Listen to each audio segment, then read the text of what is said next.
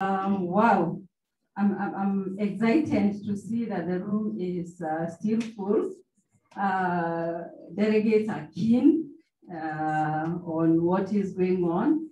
It seems the, the, the, the IIK chose very interesting and relevant topics for us because we are all attentive, even at this uh, time of the day. Um, I was thinking it's going to be a challenge for us on the last paper because uh, of the time, we are even beyond the time we were supposed to be completing. But I'm excited because we are all attentive on that. Um, before I introduce the speaker um, of, of the topic, may I start by saying we take the challenge uh, from uh, Mr. John Kamau. Thank you for saying it as it is. But I think also we want, I want to appreciate that the industry is slowly taking bold moves into uh, innovation. We should have been far than where we are, but there are some signs and symptoms of uh, going into the right direction. Maybe to mention, I work with APA Insurance. I'm the CEO for APA Life. But as APA, we've taken a bold appro uh, approach to embrace digital and also use digital uh, to change the business models. Uh, he talked about the monthly premiums, and I'm proud to say APA has become the first insurance industry to come up with a monthly motor insurance. You can see, you can refer to the booklet, page number 13. Uh, there's a product there called Bima Bamba. You can buy insurance for motor and pay premiums on monthly basis.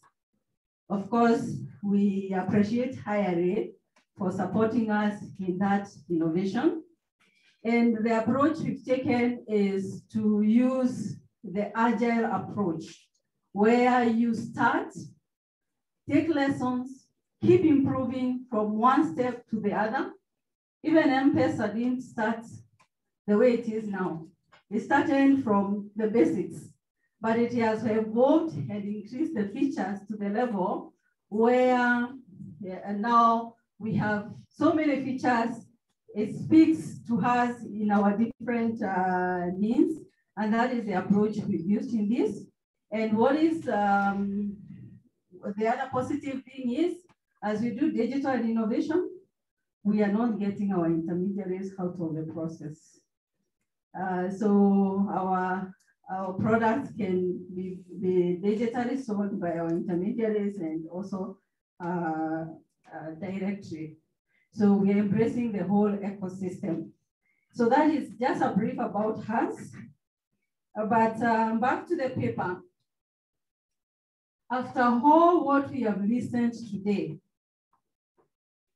I think the paper on human resources sits at the right place because all the other papers we've had uh, since morning, they are all talking about the emerging trends, the new things, the direction we should be taking, the digital. But sitting at the core of that uh, future and progress is what? The human resources. Because if we do not ask ourselves as an industry or as companies, as customers evolve, as the world evolves, as we face new challenges uh, in, in the market, how does our skill set and our human resources also evolve?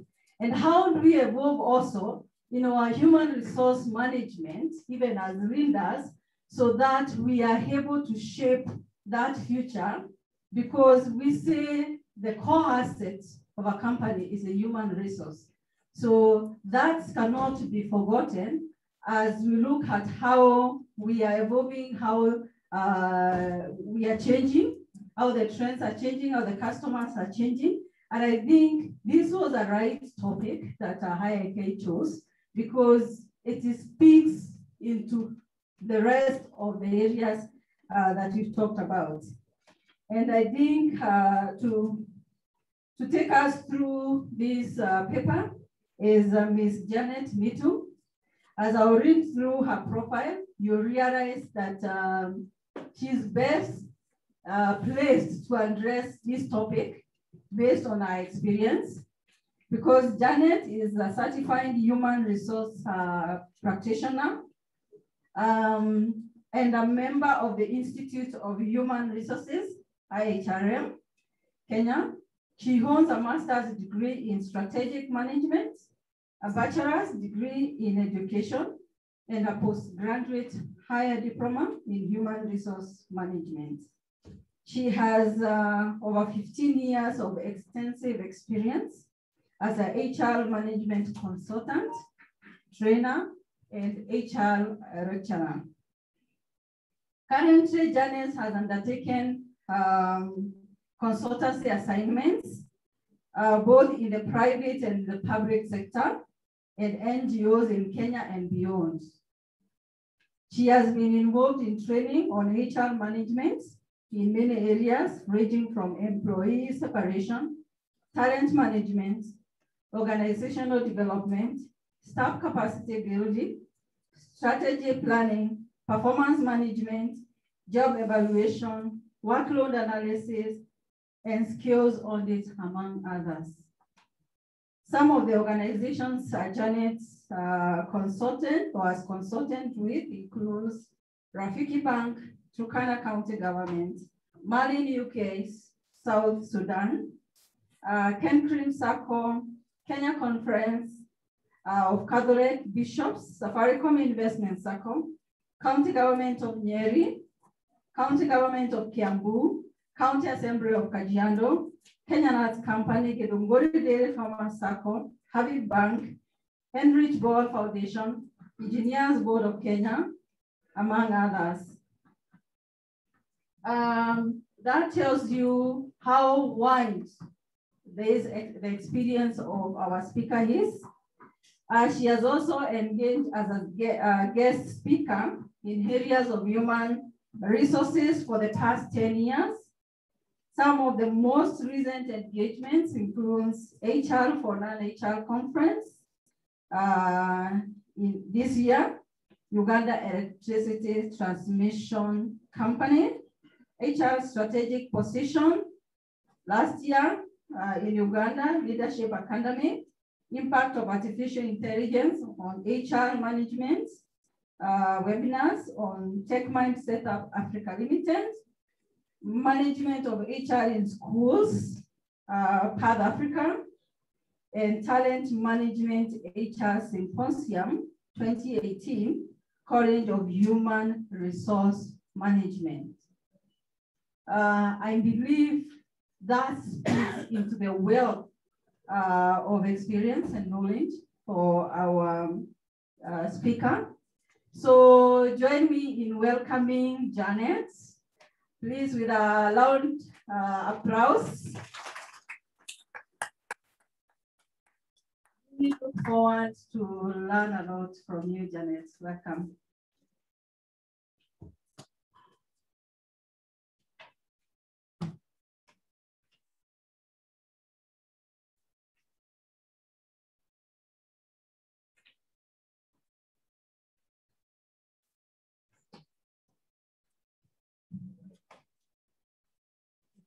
Uh, thank you. thank you, Madam Chair. Uh, I'm not going to talk much about myself. Uh, we have no time for that, but she has given the brief. Uh, ladies and gentlemen, I'm sure you have gone for an event and people have spoken, and then the last speaker, when the last speaker is called, he asked, now what am I going to say? is it? And uh, so uh, people before me have spoken a lot uh, about uh, technology and other uh, emerging trends. But uh, like Madam Chair has said, what we have not told you is who is going to do that. Who is going to do it? That analytics, who is going to do it? Blockchain, who is going to do it? Right? So what does that mean? What is driving the HR skills? What's the conclusion to that? What is driving HR skills? Eh? Technology, is it? So that's what we can conclude from what they have said. That technology actually is one that is driving HR what? HR skills. And therefore, um, I'm going to talk about human resource because like she has said, at the core of everything is human, uh, it's human resource management.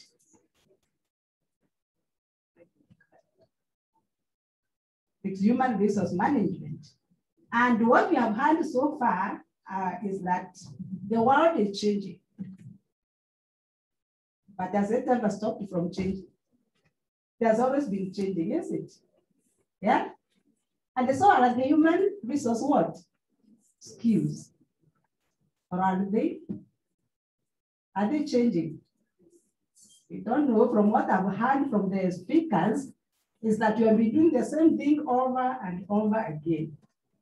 That's what I've heard. That's what Elizabeth Veron has told us. And that is what, um, you know, uh, Kamau has told us. You have been doing the same thing over and over again. So are we really evolving the way the technology is evolving? What is it that we can do differently in terms of human resource? Because at the end of the day, human resource is the driver of the organization insurance company. Without people, you have a company. Do you have a company without people? No. What would you call that company without people? You can give me a name for that.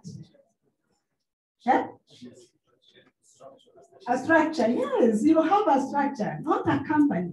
An organization, people make the organization. Without people, you have no organization. Okay, without people you cannot sell. Without people you cannot, you know, you know, uh, be creative. You cannot innovate without people. Okay, so what is it that we can do about people with, um, you know, the emerging technologies? How can we leverage on that so that we make sure that, you know, we move, we evolve as the world evolves.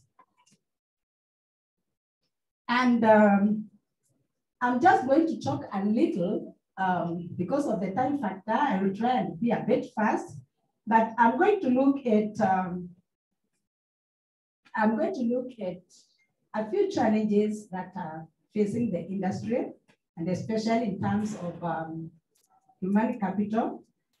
Uh, then I'm going to look at uh, how technology, how the HR skills have been impacted uh, especially by technology, because at the end of it, it is just technology which is impacting on us.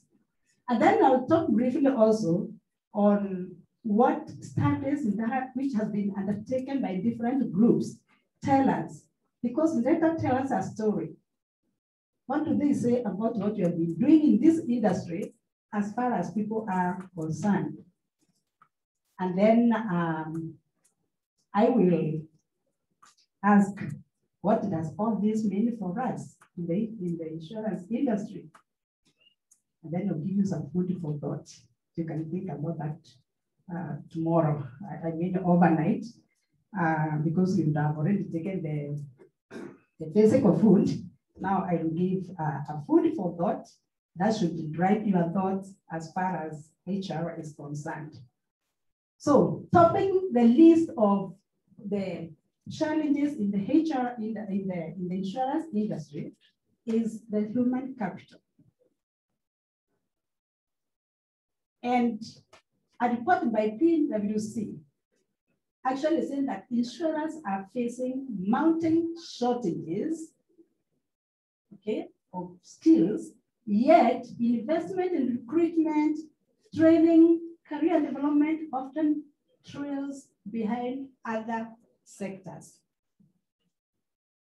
Does that resonate with anybody? Does it? Look at what um, just IRA, you are regulator, you did Where's the regulator? You didn't uh, start in 2012, regulator. What did you find out? Regulator, where's the regulator? Oh, you are just here. You had a study like that? Oh. Only three months ago, so don't know about the history. The regulator did a study and he said one of the observations is that there is handling any company that allocates adequate resources towards enhancement of staff capacity.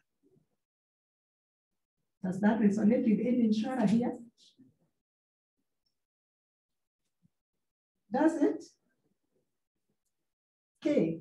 Of course, we have other challenges, but I'm going to focus on the HR. Of course, we have other challenges like technological challenges, which are transforming uh, the shape of the labor market because of the changing, uh, you know, trends and demogra uh, demographic uh, shifts.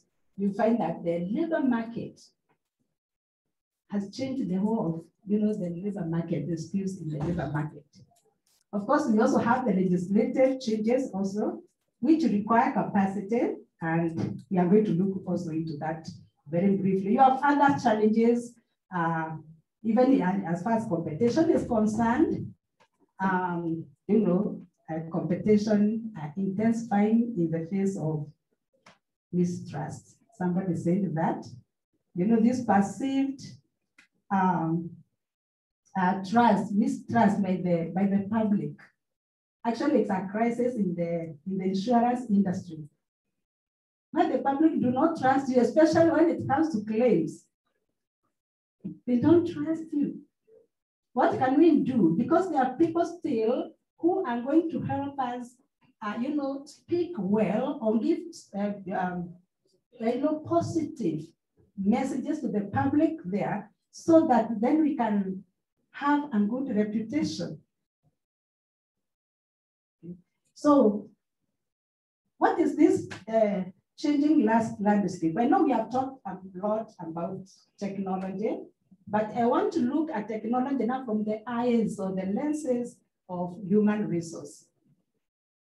And we do understand that technology has been changing. Uh, new trends have been, uh, you know, uh, new things have been emerging.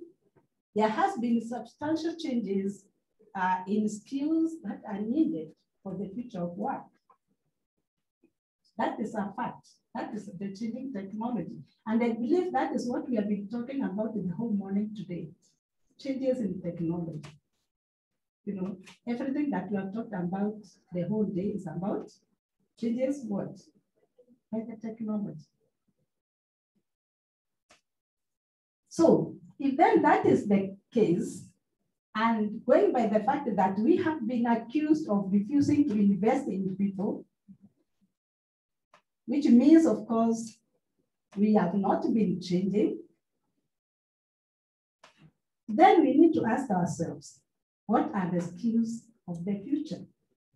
Because where we are coming from and where we are today and where we are going in terms of skills, they are worlds apart completely. So from where we are today, where are we going? What skills do we need for the future in this industry?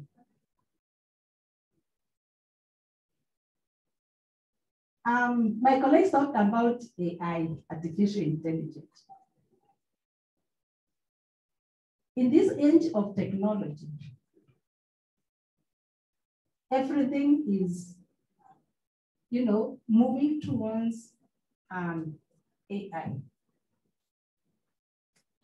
And a research done in UK by McKinsey found that technological skills will increase 55% by 2030. How many years are we from, from today to 2030? How many years? Seven. And by 2030, those skills would have increased 55%. Let's look at ourselves and our skills.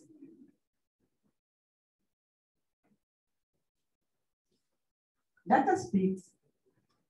They're telling us a story, and that is the story. So what does that mean to us? It means that then we should be able to look into our skills, see what the skills we have, see what we can do so that we can align uh, the skills development with the work of the future. So as to help the organization to have a ready supply of AI-enabled skills. That's what we should be thinking about. If you have HR people here, that is, should be the thought process. How do we enable our people? Most progressive companies here, they have already adopted to a large extent uh, the use of AI. Look at Safaricom, for example.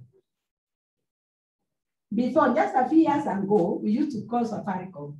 I've sent money to the wrong, the wrong M-Pesa, I've blocked my SIM card, you know. But these days, we don't need the call center. You don't need the call center. All the answers you have them through the what? Through the machine. Is it?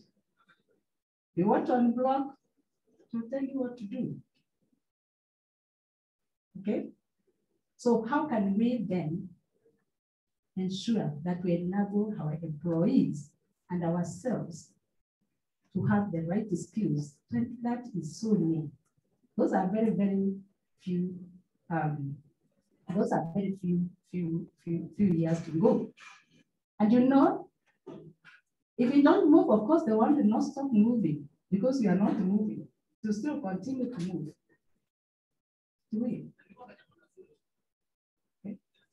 We have talked about big data here, you know, data analytical skills.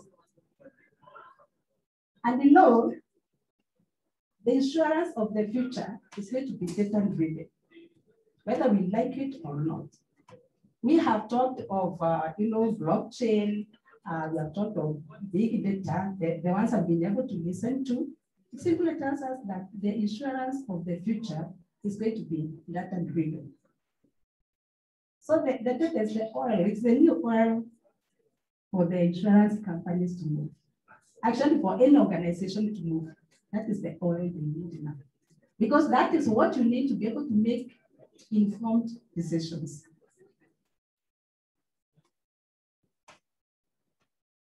The, the HR, for example, there's so much data available about people. From the time your employees join the organization to the time they exit, so much data available. We do not know what to do with that data. We lack the skills to interpret that data to make, uh, you know, to make a business decision.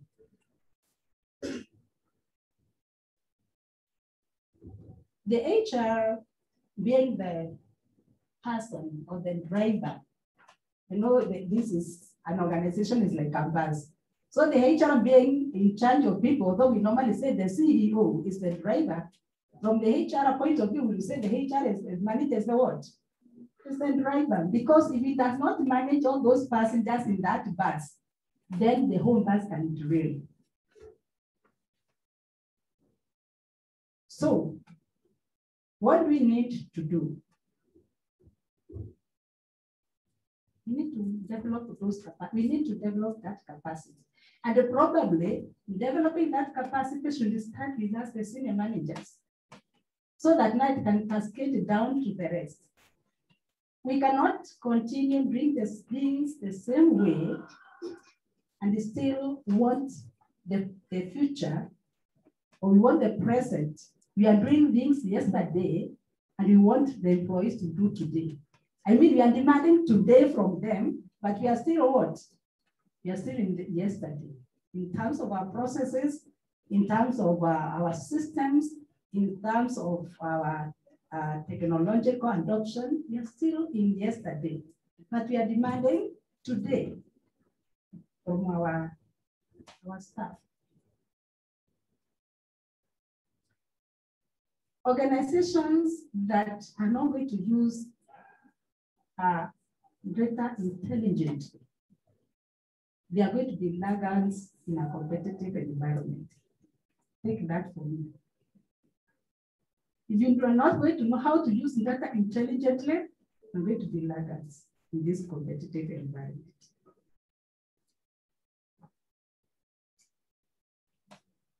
So you find that uh, the insurance industry, um, you know, they struggle to find the digital and analytical skills.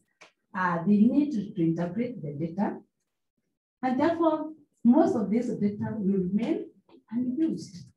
To remain unused, and therefore it cannot be applied to shape the um, to shape the, the business decisions.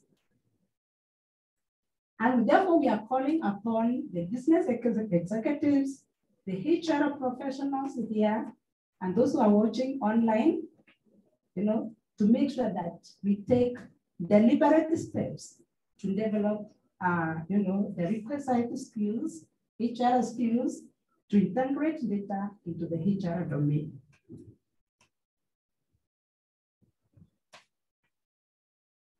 Remote working capability. You know, we think remote working just telling somebody, you stay, you can stay at home and, uh, you know, borrow letter. It's a deal. Yeah? No, that is not the case.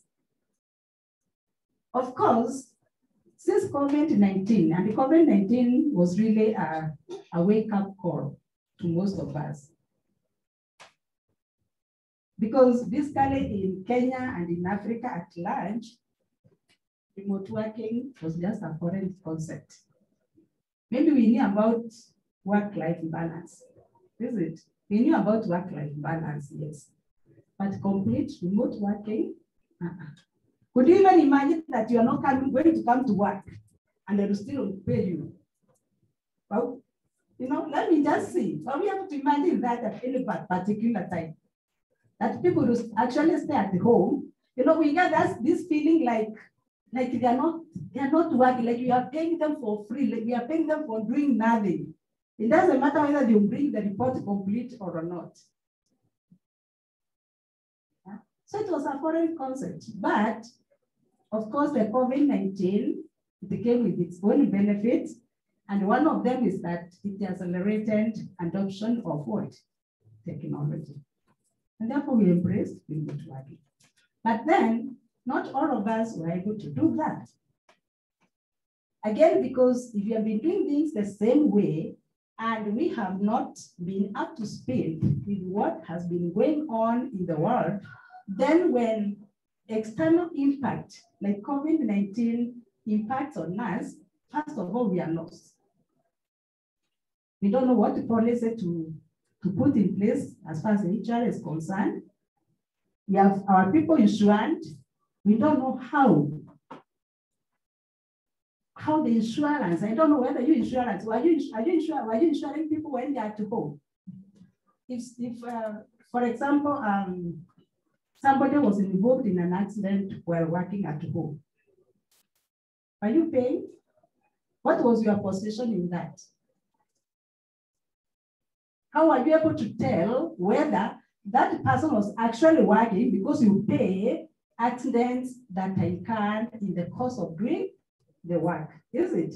Now, if I'm working at home and I break my leg, okay, then I say I broke my leg when, when I was working. How will you be able to determine whether somebody was really working or maybe he had a party in his house and therefore they were playing music and he broke his leg.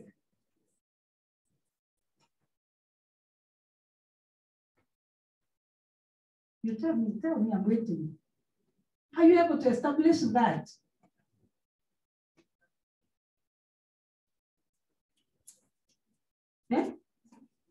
Sorry? Have you thought about that challenge? Because we're insuring people. And the way to go is remote work. You can see the statistics. 77% of employees feel fully productive working at home. And soon, by the time we get to 20, that is going to be 100%. Then you'll be telling people to come to work 8 to, to, to 5. What will you not be telling employees? So are we started thinking of how are we going to ensure people? when we are working at home. What are the challenges that we are likely to face? Because organizations, they are required by the law to ensure their employees. So the onus is on you to pay if something happens. How will you do that? So it means we have, first of all, to build our capability, to think creatively, know how to change our systems and the processes so that we're able to track what happens when people are working, uh, working at home. Something else, what we are talking about here, about remote working, is that soon and not later, not when, I mean not if, it's when, that we completely go remote working, um, then it means that that model of working is going to be very, very attractive to many people. Most of us, even here, sometimes we don't feel like waking up to go to work. You know, you wake up, it is raining in the morning, or you feel you want to feel like you want to sleep a little, is it? Sleep Hmm? Yes. So if you know you are working at home, then you can decide to sleep. And then you wake up and work. It doesn't matter, you can work up to midnight in your house and you'll still be productive. And especially so when we are talking of millennials. Actually, I think we are, we are not even talking about millennials now. We are, we are talking millennials, what we are calling millennials now, they are around the 40 years, is it? Now we are not, what are we calling? I want to, do they have a new name now? The 25, the that? Yeah, yeah, generation Z. Or they're eh? the linked in. Yeah, they're the linked in people. Those are the people we are talking about now, not even the 40s, the millennials we have been thinking about. These are people who want to work when they're at home, in the comfort of wherever they want to work from, whether it's their bed or in their, when they are taking their breakfast, in whatever form of dress they are in. Is it? You wake up in your Kenyansa, you are still doing what? You work. Okay? The ladies, they wake up with their tuko cut, they'll still work. They don't have to dress to go to work. Right? Yes. So those are the people we are talking about. And you realize that then this trend is going to be very, very attractive to these people. Very attractive. And then again, the millennials, again, by the way, are the most talented. You know, we are told you are quite a digital, quite a number of digital people here. I mean, not digital, analog. That's what we are told by one of the speakers. The millennials and the LinkedIn, they are tech savvy. Okay. So these are people who want the ability to work from anywhere because they want to enjoy their life and still work. That is the fact. They want to enjoy their life and, and still work. And then we are still telling them, come to work at uh, eight, five, and then not even to work in a technological enabled environment is paperwork, files. You know, files, papers and papers and papers. You'll not be attracted by that. So it's time we start thinking. How do we then, uh, you know, uh, reform our processes? How do we uh, reform our systems? How do we keep, uh, you know, capacitate our employees to work from wherever they are as long as we are productive? Capacitating means, I, I know during COVID-19, some organizations went to the extent of actually creating offices. In the people's offices, I mean houses, those who had enough space, they provide desk, they provide a laptop, and they connect them to the office. So now we are dealing with the virtual office. I know there are organizations that actually recruited and they were orientating, inducting their new recruits virtually through the virtual office. How many of us have done that? Ah, good. A few of us. But what the percentage is that? I've seen less than uh, five hands. What is percentage of that? Uh, those who are good in mathematics. What percentage of five hands out of uh, all this? 0 0.0 something, is it? Yes. We, we must start thinking, we must start thinking differently. Somebody said we must start thinking out of the box as far as HR skills are concerned. You see, research has shown by that uh, this was undertaken also in the US by Mercer uh, Global Talent Trends that 91% of companies surveyed were enhancing their flexible working policies and practices. And you know, we, we said that um, uh, that um, one of our, speakers, uh, we said that he gave us a lot of background about developed economies.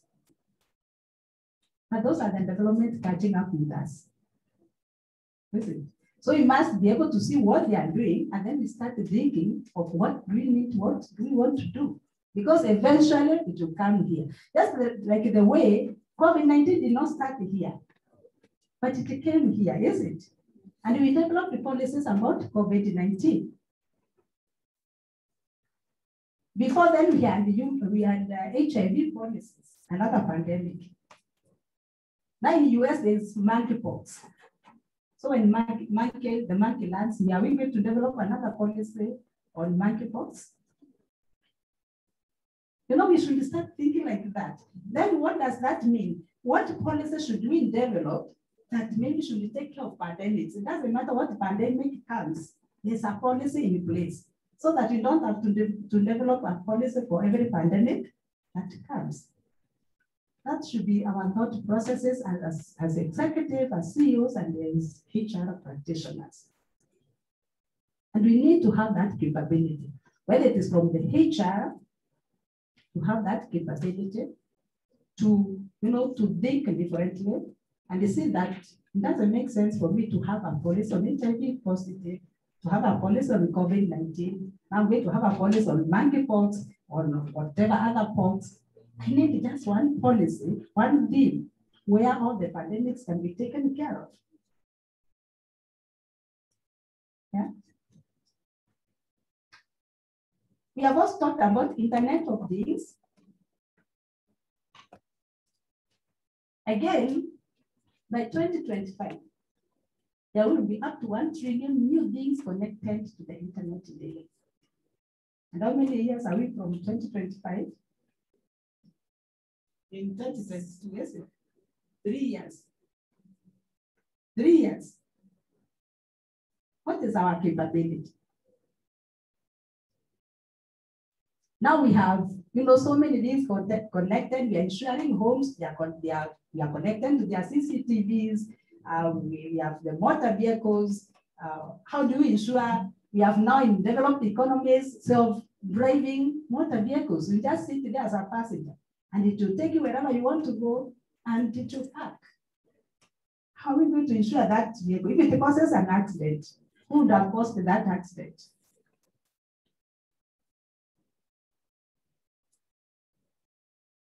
You're in insurance. Who would have caused that accident? Eh? The, the AI. Because there will be AI enabled, is it? Yeah, the, the eye is the one which is driving it. It will go sense where there's a parking, and they are there. They're being driven in places like US. So how do you insure those vehicles? What capacity do you have to be able to do that? Because those are things that are going to be connected. You know, all those things getting connected. We are insuring people. We have get now, you drive in it, it senses that your vehicle registration number and then get opens and you get in. Connected, connected, connected, connected. And these are things we are going to ensure as long as we ensure those things, then we have to be connected. What capability do we have? What capacity do we have to be able to trust that? And I'm sure you know you'll do customer tomorrow, customer service and big. But probably um, one of the things that you may have come across is, a, is the fact that the customer now wants it easy. You know, I want to apply things online. I want to get my claims online. I want my certificate online. I want this and that online. I don't have to come to your office. Right? So again, there's a study that was done by ILO. And what they found out is that the respondents, who are mostly, uh, you know, business executives, they said that the most important uh, single uh, skill set that was cited by enterprises as very important for the future success, that is skills, digital skills, were cited as the most critical for the future success of, of any enterprise. And another line by PwC is that 77% of CEOs saw the non-ability of key skills as the biggest business threat. That is a study, that is a survey which has been done. How do we consume this information? Train us to, you know, train us to, to, to do the, the, the right thing when it comes to skills development.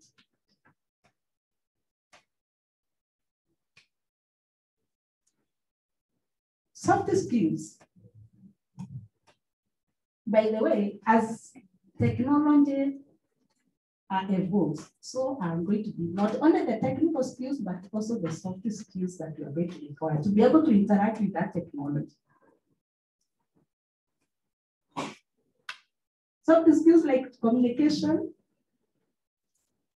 with customers, soft skills, even social skills, you know, will need to evolve even our, our soft, our soft skills.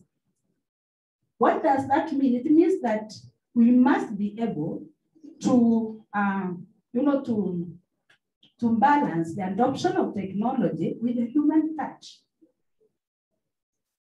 They must go together. They must be infused. Technical skills and the soft skills.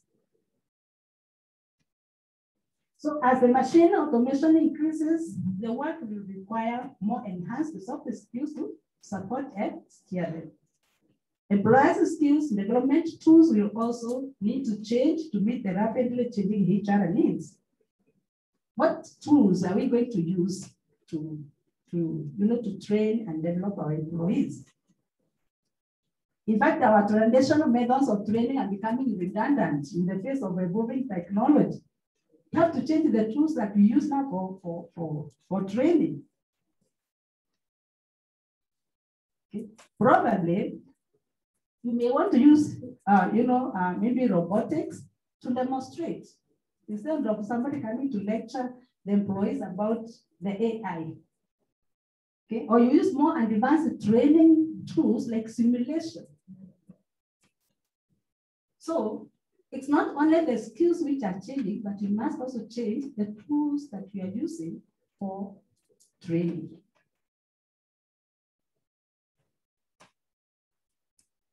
Of course, those are not the only challenges. Again, the regulators here, we have regulatory compliance capability.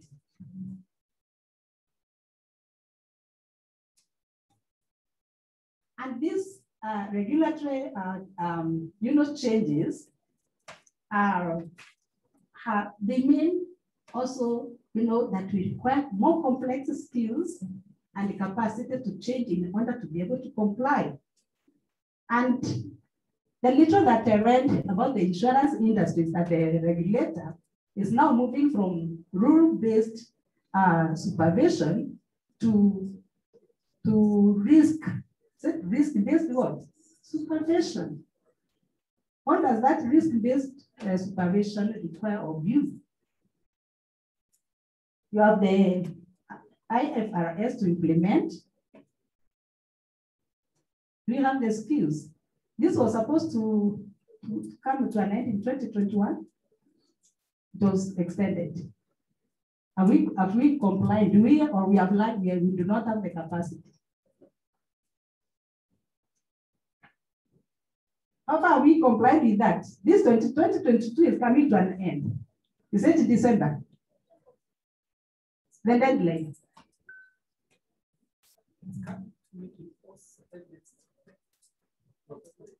Hmm? It was supposed to be last year anyway. However, how far have we gone with the compliance with the IFRS?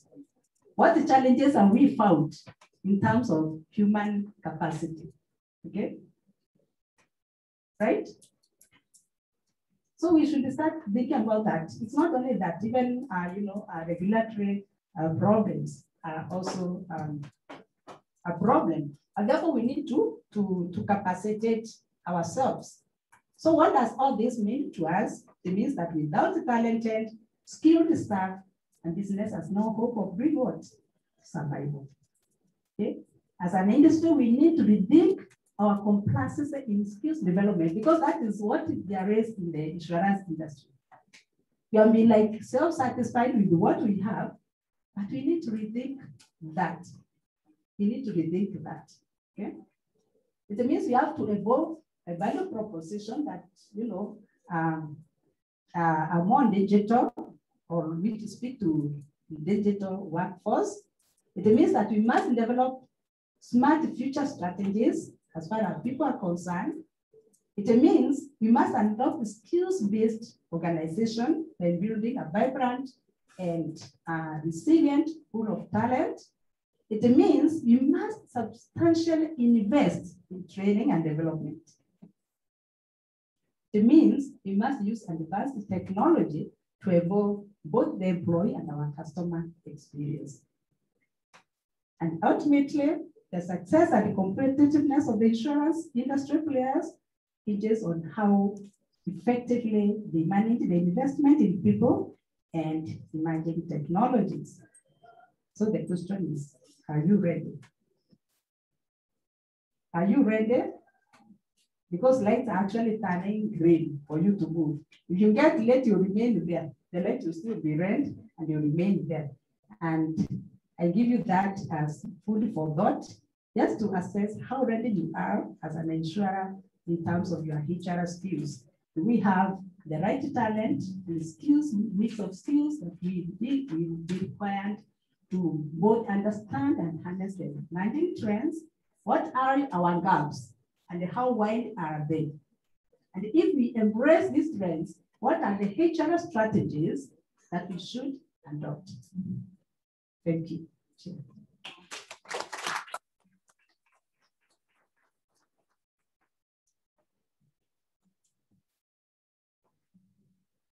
Can we give her a bigger clap? Ah, the question has been drawn to us. Are we ready? Are we ready as uh, leaders? Uh, she's come out clear that the world is changing. And so are human skills. She's also told us a company, something that uh, really has uh, come to be as, as, as quite strong. A company without people is just a structure.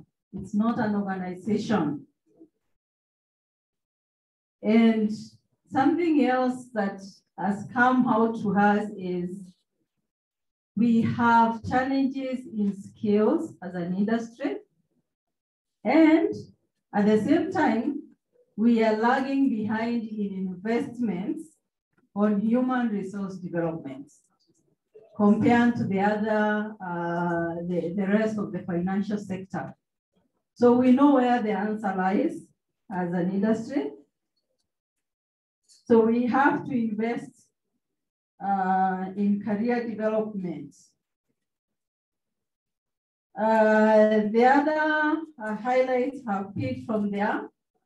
She's given us the skills of the future, where the world is ended. And as you can hear from her, all this is aligned to what we've heard in the, the other sessions. The, the, the skills of the future, we have to, they, they sit on AI-enabled skills, analytical skills, remote working capability, and this remote working capability, something has come out very strong on that issue of remote working capability, not only on the skills that we require as, as an industry. But also we need to think about how do we innovate our policies because that customer of the future will be the customer who will also be working remotely. So we not only look at just our the skills we need, but also how do we innovate our business models and our policies so that they are also aligned to that millennial who is the customer of tomorrow. Because for sure, whether we like it or not, the customer of today, let me say the customer of today and not tomorrow or tomorrow is a millennial, isn't it? Yeah, the rest of the generations, we are retiring soon. We've been told the baby boomers are already retired, isn't it? Gen, the next one is what? Generation X. Yes, the Generation X. Always refer Generation X as, as, as, as, as the parents of the millennials. And, and, and when our generation, I belong to Generation X, when we complain about millennials, I always tell people, but we are the ones who have bad them. Why are you complaining? yeah, they are our products. So we have to embrace and see how we can work on, uh, use the strength and the capabilities they have because they do have that. So that is the customer. So if we do not innovate, not only on the business models, on the policies, on the skills, then the customer will not see value in this, in this industry. We've also heard that uh, soft skills will be very key, and we need to strike a balance between um, technology and human touch. Yeah, so the soft skills will be very key. We, I, I believe what has come out, uh, or what I've thought when I heard this is, how do I start if I look at the, the staff profile in my company, I see most of the staff sit in the back office. They are doing the rigorous underwriting, the rigorous claims processes. And when she talks about the technology and the soft skills, it tells me that I need to start thinking how now the profile of my staff starts moving from back office to front office, isn't it?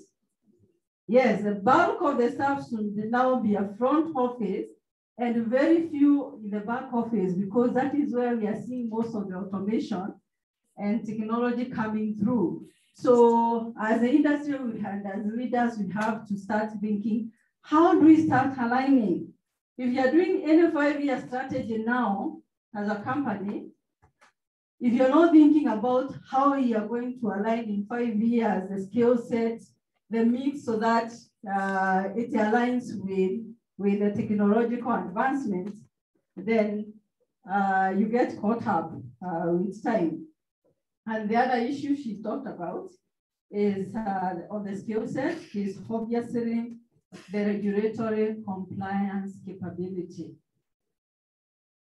As a principal officer, sometimes I feel overwhelmed by compliance yeah, until I, I there are days I tell my risk manager, sit here and tell me where are my gaps in compliance? Because I have RBA, I have IRA, I have KRA, I have no data that has come in, uh, data protection, I have uh, unclaimed assets, so many until sometimes you forget if you do not have a keen tracking and support mechanism, and all these are very important because we are operating in a global market. And to give a global customer confidence or a global investor confidence, we need to align to all these compliance uh, matters. So it becomes very key uh, as, as a scale as we go forward. And I think uh, she's, uh, it's, it's coming out very clear uh, from what she has, has said. So in conclusion, what I feel is we need to concurrently rethink HR skills, innovation, as our business model evolves. So we evolve the business model. At the same time, the HR skills evolvement or development has also to be uh, in line. It can't be put in the back burner as, as something that will be done after we have uh, changed the business models. And we have to invest in improving our people or developing our people towards the right direction or towards where the future is moving. So that's in summary, uh, that, that's what I can summarize as the, the, the, the, the items have myself picked from uh, our presenter. Due to time, uh, I am going to allow very few, maybe two questions. I don't know whether we have any questions online. We have one online. We can uh, look, uh, tackle the online one. Then I can uh, open the floor to, to those who are in-house for two questions. So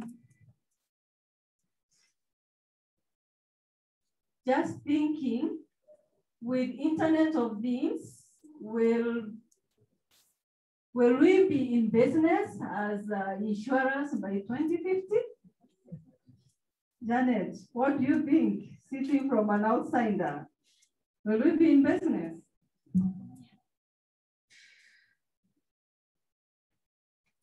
That is from uh, Ruth Kimel. Uh, yes, Ruth, we will be in business uh, because uh, unless, like I said earlier, if we refuse to evolve with the world, then we will not be in the business. But if we do, we will be in business because uh, we will still require insurance. Customer will still require insurance. And you, you know, we, the more the world evolves, the more we are getting even more expensive things, the more we get more understanding of insurance, especially in Kenya here, the uptake is very low, but you know, people are getting enlightened and um, with that, people, you know, especially life insurance, what, you know, for us, if you take life insurance, it's like you are writing your own death uh, certificate. But people are getting enlightened. And therefore, it means that yes, we'll be in business, but we need to see what is ahead. We need to see 10 years ahead and look at the big 10 years ahead. Thank you. Thank you very much. So basically, she's saying insurance is still relevant. It's how now we repackage it and we deliver it through the technology. So we'll still be in business if we innovate.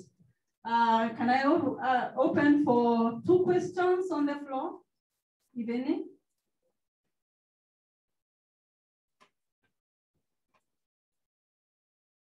Is the topic um, well understood or it scares us?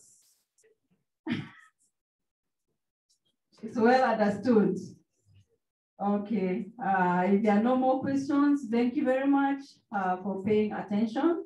Let's pick the lessons and let us run with them and uh, uh develop our business for the future. Thank you very much. To you.